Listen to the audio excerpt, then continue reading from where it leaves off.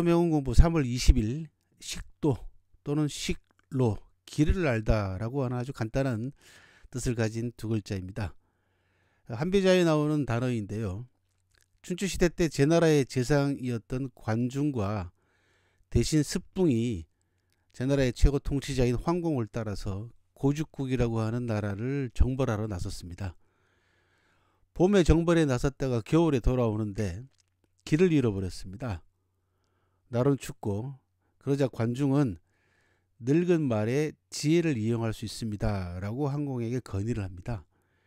그래서 늙은 말을 앞장 세우고 그 뒤를 따라서 마침내 길을 찾았다. 라는 그런 이야기가 전해옵니다. 관중은 이 원정길에 나섰던 경험이 있는 노래라는 말을 이용하여 길을 찾아낸 겁니다. 그래서 식도 또는 식로라고 하는 두 글자는 원래 자리로 되돌아온다라는 뜻이지만 훗날 경험이 풍부해서 앞장설 수 있음을 비유하는 단어가 됐습니다. 노마식도 또는 노마식로라고 하는 사자성어로도 파생이 됐습니다. 늙은 말이 길을 난다라는 거죠. 우리 사회 각 분야가 제 방향을 찾지 못하고 갈팡질팡할 때 흔히들 어른이 없다 이렇게들 얘기를 하지 않습니까? 길을 잘못 든 우리들에게 정신이 번쩍 나게 채찍질을 가할 수 있는 진짜 어른이 절실한 시대이기도 합니다. 식도였습니다.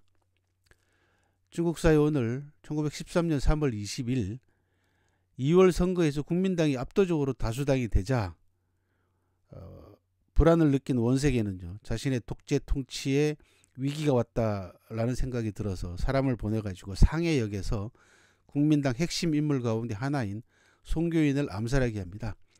치명적인 부상을 입은 송교인은 이틀 뒤인 3월 22일 세상을 떠났습니다. 하루 명운 공부는 책으로도 만나보실 수가 있습니다. 365개의 명언 명구들 책을 통해서 예, 읽어보시기 바랍니다.